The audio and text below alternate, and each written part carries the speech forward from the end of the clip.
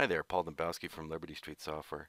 Recently we had a question from a customer and one of the things they need to do with Asset Manage is to look up items and change the status of those items. And the question is, what's the best way or most efficient way of doing that in Asset Manage? And I would recommend you use the lookup feature. It's on the toolbar here. You can also access it by using Tools, Barcode Lookup.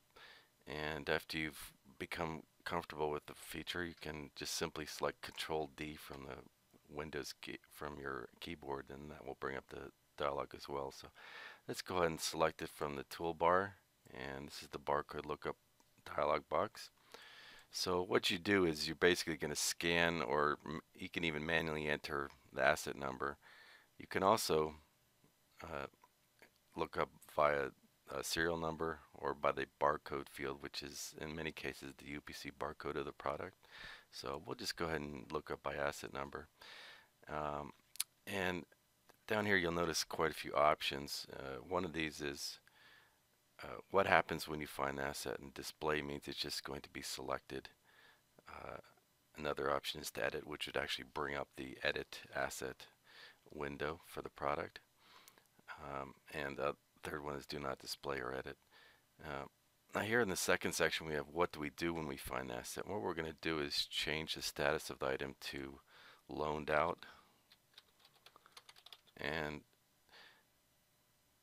we can also uh, change the location, assign the assets, set the audit date. So you can you could do an, an asset audit using this feature as well instead of the asset audit wizard, um, which is elsewhere in the program. So uh, so we've got a couple assets, and what we're going to do is look them up and change the status to loaned out. Now scan the first asset number. Basically, to scan an asset number, you just place the cursor in this field here, and you scan the barcode with your with your barcode scanner, and it's going to enter the text for that barcode into this uh, text field here. So I do that, and since I'm manually uh, pasting, I'm manually pasting this asset number from the Windows clipboard. Uh, if you scanned it in, it would select the lookup uh, button automatically.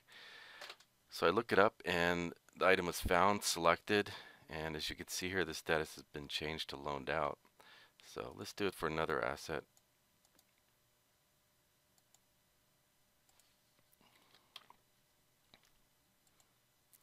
And again,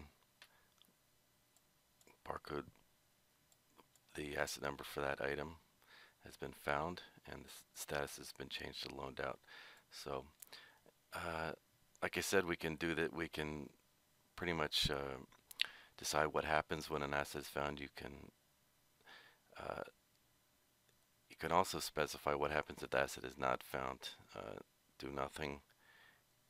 Create an create and edit an, an inventory item, or silently create an inventory item and put it in this particular location here. So that's all for now. Thank you very, very much for listening.